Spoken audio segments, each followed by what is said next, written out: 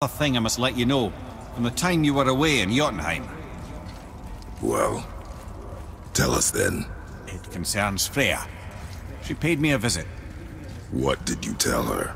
What little I know about where Odin may have kept her Valkyrie wings. Seems she's rather bent on reclaiming her warrior spirit. I'm afraid the cycle of vengeance may not be so easily broken.